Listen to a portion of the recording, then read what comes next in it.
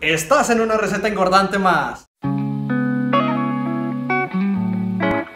El día de hoy te quiero enseñar a preparar unas deliciosas mangonadas. Lo mejor de esta receta es que no vas a ocupar muchos ingredientes y además te va a salir muchísima cantidad. Quién sabe, incluso para empezar un pequeño negocio. ¿Quieres saber cómo es la receta? ¡Comencemos! Un kilo y medio de mango. Un litro de agua. Medio kilo de azúcar.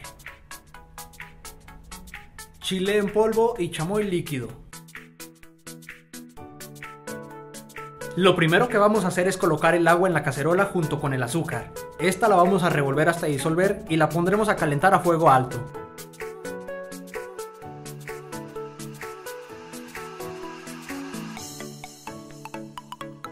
Mientras el agua se calienta, trabajaremos sobre nuestros mangos. Tenemos que sacarle la mayor cantidad de pulpa posible.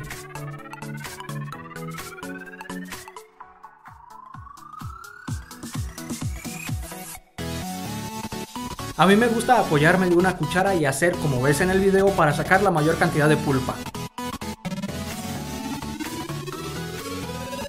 Lo más importante en esta receta es que tienes que quitarle toda la pulpa al mango, ya que nos ayudará a que tenga mejor consistencia y que la textura final sea muy agradable. Debemos de estar cuidando que el agua no llegue a hervir, simplemente buscamos que esté un poco tibia. Ahora que tenemos la pulpa y el agua listas, los pasaremos a una licuadora. No te preocupes si no cabe toda el agua.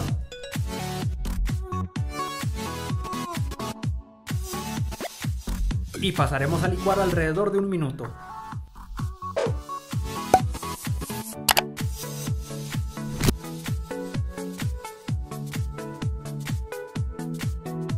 En un recipiente amplio vaciamos el agua que nos sobró y mezclamos.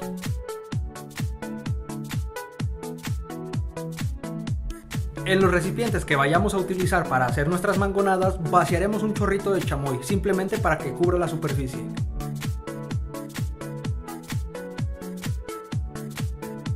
Después, espolvorearemos un poco de chile en polvo.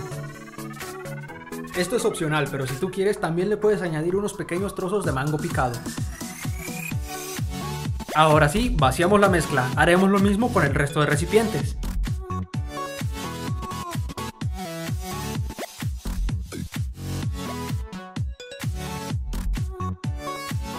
No olvides ponerle su respectivo palillo y pasarán a congelarse por un mínimo de 6 horas. Pasado ese tiempo, desmoldamos nuestra mangonada y en el recipiente añadimos chamoy y chile en polvo al gusto, además el jugo de medio limón. Mira nada más, ¿a poco no se te antoja con este calorcito?